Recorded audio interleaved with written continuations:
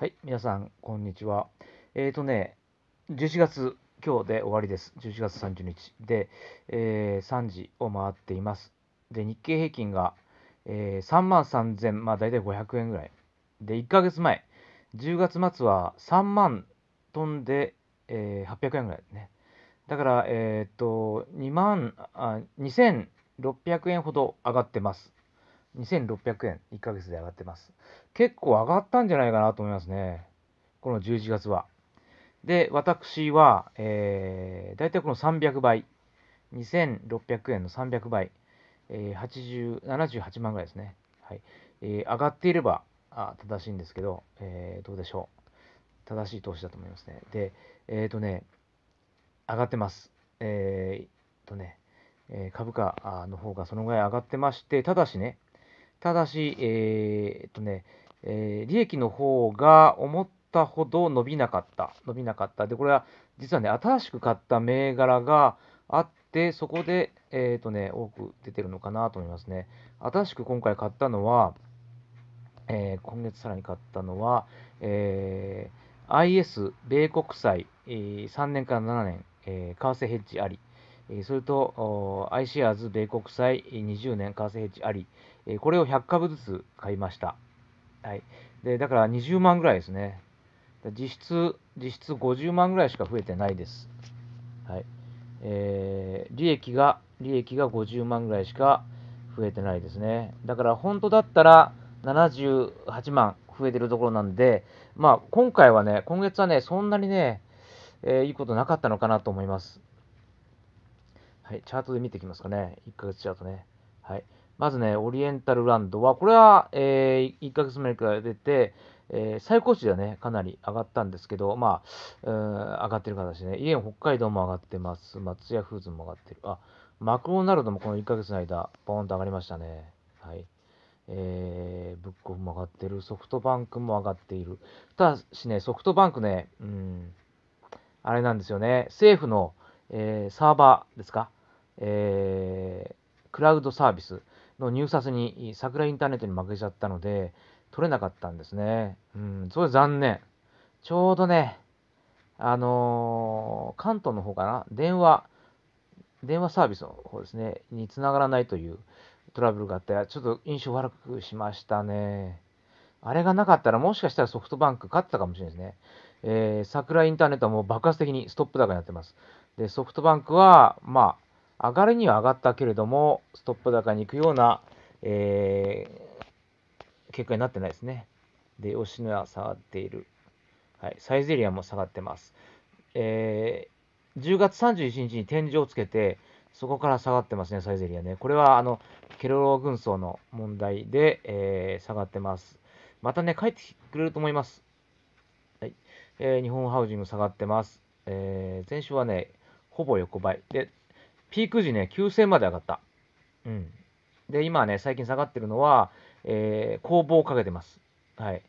えー何万株かな？何百万株かな、えー新規発行して、えー資金を集めて、新しいね、えーなんだ、えー設備投資やら、えー展開をしようということなんですね。うん、ということで、今ちょっとね、攻防をかけるとちょっと一旦下がるんですね。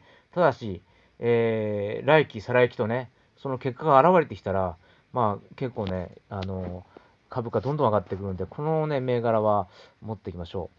えーえーと、次、えー JPX、えー一旦天井をつけたんですけど、今、下降気味ですね。で、ホットランド、おこれもちょっと上げてます。えスカイラークも上がってます。で、イオンは下げましたね。イオンね。でもこれからね、えーお歳暮、最近お歳暮みんな送る人いないのかな年末商戦、商戦ね、えに当たってくるので、お正月ね、あの親戚が来たりとか、ね、いろいろ食べに行ったり、ね、えそれから、え自宅でね、鍋、みんな食べたりとかするので、スーパーの売り上げ絶対伸びると思いますね。だこれはね、今月はちょっと下がりましたけど、来月は期待していい。で、日産、えー一旦頂点をつけるんですけどね、下げてきましたね。で、配当が久々に、えー今回もらいました。はい。で、3って下がってます。で、えー、おとといですか、11月28日が、えっ、と、1年に1回の権利落ち日、来たので一斉に売りに入ってるんですね、これね。うん。まあ、また時間かけて元に戻るでしょう。はい、この銘柄ね、そういうね、優待銘柄なんでね、あの優待券の獲得で売りに来ちゃうんですよね。うん、これはもうパターン的にしょうがない。うんえー、東京個別指導額に下がってます。えー、青木ホールディングス上がってますね。JT 上がってる。えー、日本郵政、うん、下がったかな。日本郵政ね。うんまあ、ここはね、えー、大きくね、動かないので、はい。で、S&P500。えー、ここに来てちょっと下が下がってますけど、これからね、えー、S&P500 絶対いいと思います。なぜかというと、来年、アメリカ本土ではあ大統領選挙、それから、えっ、ー、とね、来年秋から、来年の秋からね、あれですね、あの金利下げるみたいですね。ということは、えー、株式投資に資金が回ってきます。ね、金利が下げるってことは、あの預金しておくよりかは、えー、預金しておくよりかは、株買いますよね。そうすると株価が上がるんですね。はい。ということで、S&P500、えー、今日、今週はね、今月ちょっと下がりましたけど、またね、えー、じわりじわり上がっていくタイプなんで、で、マリモリと、で、銀行下がってますね。そう、銀行はね、下がっちゃうんだな、確か。うん、なんか要因があるんですね、銀行は下がるね。はい、確かね。えっ、ー、と、これはね、えー、アメリカの、えー、そう、えー、金利を下げると言っていますんで、そうすると、円高になってきますよね。円高になってくるということで、えー、日本企業は大体ね、大体輸出業が多いんですよ。そうするとね、銀行で、日本は今ゼロ金利だし、えー、銀行の業績が落ちるんですよね。売り上げが下がってくるだろうということで、で一番最初に顕著に現れるのは銀行銘柄。はい。で、これはね、1000円、うん、1000円に維持してくれればなという期待をしてたんですけどね、今ちょっと今日はね、下がってますね。はい、任天堂は上がってます。はい。えー、年末に向けて、これは調子がいいでしょう。長谷港、うん、下がっちゃったね。はい。えー、ゼネコン関係ですね、これは3月末に観光が多いので、えー、今のところちょっとね、えー、資金回収ができなかったりとかして、あのあまりその、ね、利益に現れない時期なんですね。で、トヨタ、えー、これ上がってます。はい、えー、特殊養業も上がってます。えー、イチゴオフィスは下がってます。あの嬉しいのは、ね、西松建設、ついにプラテンしました。はい。えー、で、NTT は下げ、東急不動産上げ、ヒューリック上げ、不動産、えー、投資銘柄ね、はい、家賃収入の銘柄のところは上がってますね。で、穴吹鉱産、はい、えー、ずっと赤字が続いたんですけど、上がってきてます。ただまだマイナスですね。はい。で、能率、あ、これはね、業績悪かった。下がってます。で、ヤマハ発動機は、えー、横ばい。ただ、ヤマハ発動機は12月末に株式分割をしてくるので、えー、これ、その先上がってきますね。で、JFE、日本、えー、JFE ですね。鉄鋼銘柄。で、最近下がったんですけど、えー、これはね、右肩上がりですね。はい。いや、武田薬品。これはね、決算が悪かった。はい。これはね、うん、ただね、もうビッグネームなんで、えちょっと悪いぐらい、ね、あのちょっと悪いぐらいじゃ、どうってことないので、またね、あの世界的にね、薬を販売している会社ですから、えー、まだまだ安定していってくれると思います。で、えー、最近買ったこの i シアーズね、米国債、えー、2種類ね、3年から7年と20年と、で、順調に上がってます。はい。これね、もうちょっと長い期間で見ましょうかね、2年とか。はい。もう下がり、今、下が下げきったんですね。アメリカはね、金利がマックスですね、に上がってまして、で、これから横ばいから下げるんで、その逆相関関係にはですね、米国債っていうのはね、だからこれはね、あの確実に上がると言われてます。と言っている経済ジャーナリストが多いです。はい。ね。はい。じゃあ元、戻してですね。では、えっ、ー、とね、えー、この結果、えー、じゃあ、あの、どうだったかということで、えー、ほとんどがね、黒字です。はい。で、この中、えー、3社目の松屋フーズ。これね、えー、50万、うんで買ったんですね。で、ほぼトントンになりました。はい。でもこれはね、NISA 枠なんですね。もともと特別口座で3600円、36万で買ってたんですね。で、NISA 口座で切り替えるので、そこから、えー、ずっと上がっ、まあ、一旦下がって、また元に戻ってきた感じですね。だからこれ実際には14万のほど利益が出てます。はい。ああの一見赤字のように見えますけど、はい。これ十分利益出てます。で、しばらく黒字黒字ですね。ずっと黒字。黒字黒字。もうこれ素晴らしいぐらいですね。で、えー、東京個別指導学院。ここはね、うん、ただ応援したいだけ。で、配当がいいので、えー、要は半分近くまで下がっちゃってますけど、まあ、そもそも、うん、そうですね、購入価格は578円、5万7000円で買ってて、今、えー、4, 4万8000円ですね。まあまあね、これまた学習塾なんで、えー、いきなり上げる銘柄じゃないですね。塾っていうのはね、いきなり利益がバーンと上がるっていうことはないんですよね。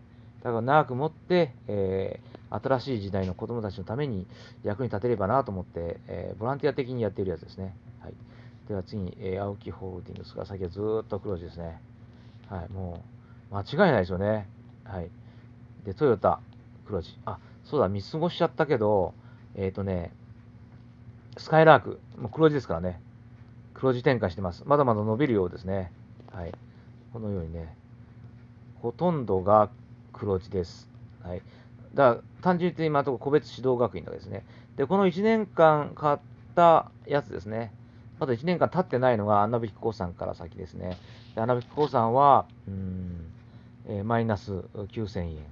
で、能率、これはちょっと業績悪かったですね。1万3000円マイナス。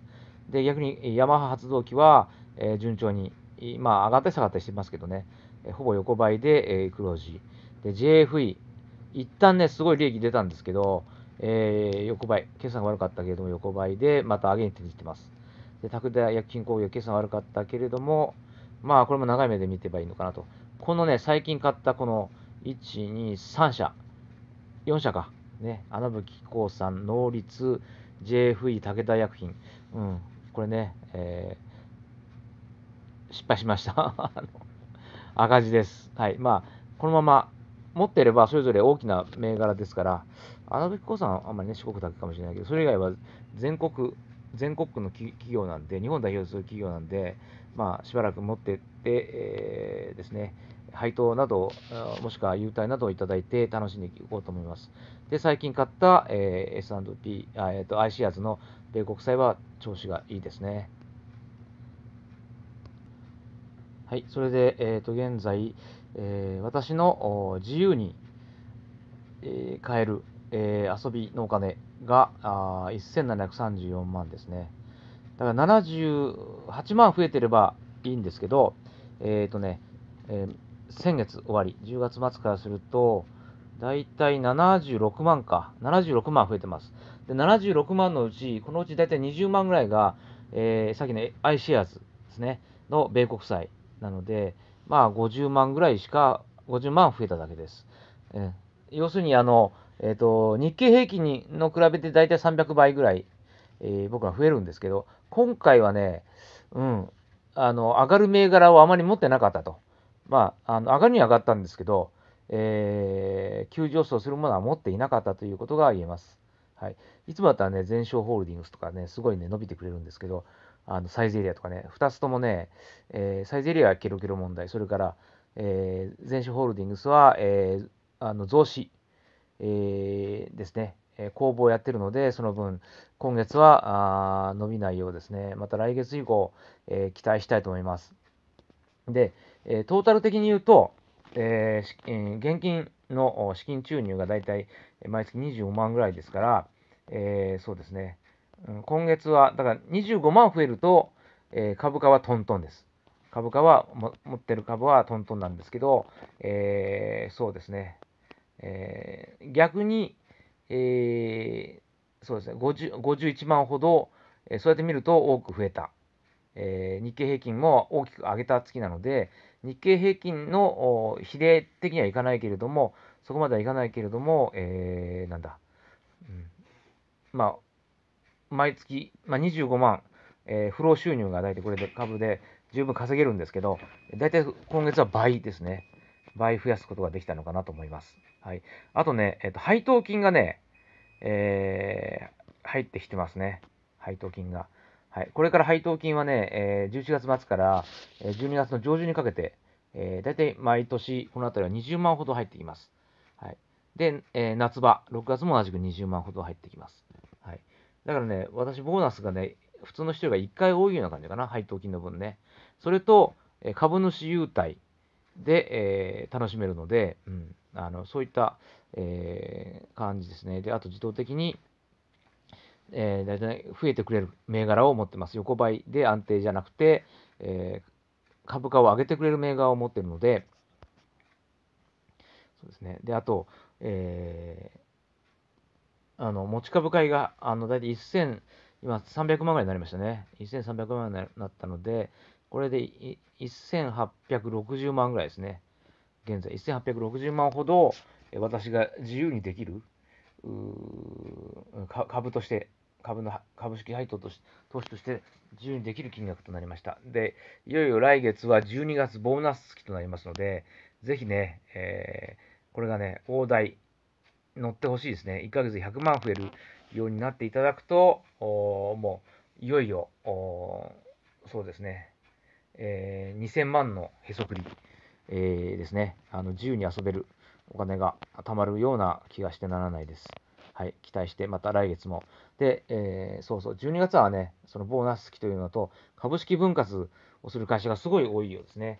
えーそれと1月から新 NISA。ですから、これ1月の上旬まではね、結構いいんじゃないかなと。でただね、皆さんね、あの、傾向的に多いのは、えー第8回、1月第8回を過ぎたあたりが、一旦低くなるんですよ。ね。で、プロトレーダーっていうかね、業務でやってる人はね、まだね、会社が始まってないんで、そこを狙い目なんですね。そこを狙って考えていくといいのかなと。だからいきなり12月中に、えーなんか使っちゃおうとかいうことはね、控えておいた方がいいかなと思います。はい。もしかしたら、その時買って大当たりするものもあるかもしれませんけど、えーまあ、株式投資は自己責任でお願いいたします。ではね、11月の結果を報告しました。以上です。